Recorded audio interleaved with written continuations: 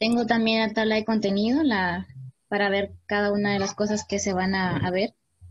Eh, le agregué unos objetivos en general y específicos. Y en las mediciones del sonido y comparaciones, pues casi como todos los compañeros, como el concepto de decibel, eh, qué tipo de decibeles puede soportar el oído humano, también pues datos generales de eso, la ubicación de la vivienda, no sé si se logra ver. Logra bien, sí, es pequeño, pero se mira que lo está ahí, lo tiene bien organizado, más o menos. Dai, fuerza. Tengo los ambientes del análisis, eh, una habitación, la sala familiar y el patio. Y en la aplicación utilizada estoy utilizando metro. También pongo los instrumentos electrónicos utilizados en el análisis, que es un parlante y un celular. Eh, de la descripción e información musical de la investigación de la fuente, pues tengo los tipos de orquesta, la orquesta sinfónica y de cámara fueron las que agregué. Y los tipos de instrumentos que tiene la orquesta sinfónica, ya que esa es la que estaba en el, en el análisis. En el video, de, de, la orquesta de San Pedro, sí.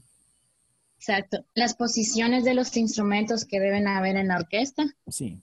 Ahí más o menos se ve.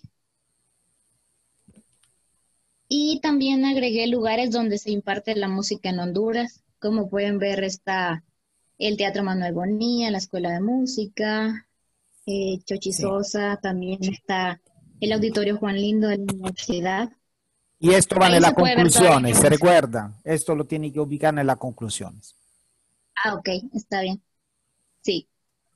Eh, en la morfología y dimensiones y materiales está el primer espacio, no sé si se logra ver eh, aquí. Están los materiales, eh, el espacio y, y, del otro lado se encuentra la, la planta que dibujé. Todavía falta agregarle algunos detalles como área total, volumen y eso. Volumen. Y, ajá, sí. Y Las distancias también... de la prueba, donde entre el, el sonómetro y su equipo sí. de sonido, ¿eh? Me lo escriban sí. a qué distancia. A un metro y treinta, miro aquí. Sí, creo que está escrito. A la altura. Está a la altura. Solo que tratar de hacer un corte para, para que se mire más detallado con la otra imagen. Sería bueno. Aquí hice un pequeño cálculo de Utilice siempre, Rosa, la misma, la misma distancia, ¿eh? Eh, nello tres sì. ambiente para poter comparare il risultato, tanto nella sala quanto nel dormitorio che nel patio. La prueba hágala sempre a distanza uguale, a, tre, a un metro y treinta, a tres metros. Sí, ah, no, tiene una y treinta y dos cuarenta. Creo que sí tuve una pequeña variación en dos espacios, entonces creo que me va a tocar volver a hacerlo, al sí. menos en eso, para, para que concuerde. Perfecto, brava, brava Rosa. Sí. Entonces, tengo aquí una, como un, una pequeña observación de por qué aumentan los decibeles y eso. Aquí está el ensayo 1, 2, los decibeles máximos y mínimos. Ahora también tengo el espacio de la sala, Ahí se pueden ver también los materiales, que viene siendo casi lo mismo de la habitación. Y luego la, eh, las otras distancias, como usted mencionaba, que necesito arreglar eso, ese pequeño sí. detalle. Y también lo mismo con la observación.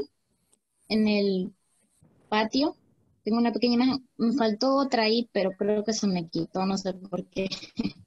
ok. Y sería lo mismo aquí también, tengo una tabla de comparaciones hasta el momento de la distancia, el volumen que utilicé.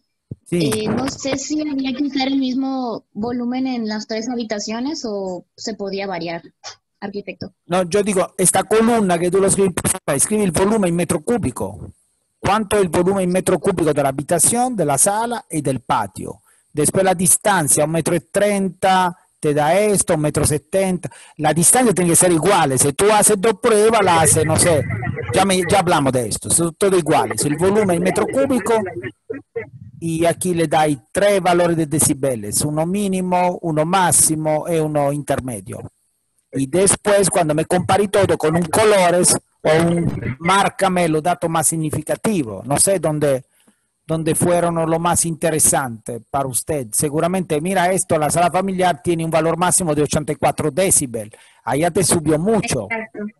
Como está muy cerca de la orilla de calle, entonces, Entonces pasan lo, los autos. brava, lo marcherai con un colore se un comentario. Es bueno que, esta, que dan una interpretación de los resultados. ¿Está bien, Rosa?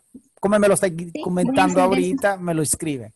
Pero sí, meta los volúmenes en metro cúbico, así sabemos de qué estamos hablando y la distancia que coincidan siempre de, las tres, de los tres ambientes.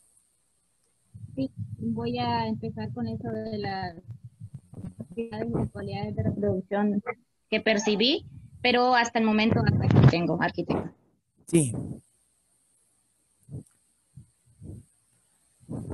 Entonces, tengo una tabla de materiales de absorción también de los materiales que hay en mi casa y, y voy a hacer como un pequeño resumen también de lo Esatto, u- è una considerazione, tal vez puede considerar, dice, no, se en mi casa tenía, teníamos il, il piso de madera in vez que de cerámica o de, la, o de, ¿cómo lo llamate? Que de mosaico, podía mejorar sus condiciones, ¿me entiendes? Porque seguramente un piso de madera crea una percepción auditiva mejor, eh, decibeles tal Exacto. vez. Entonces, voy a, todavía me falta agregar esas consideraciones Bravo. y las conclusiones.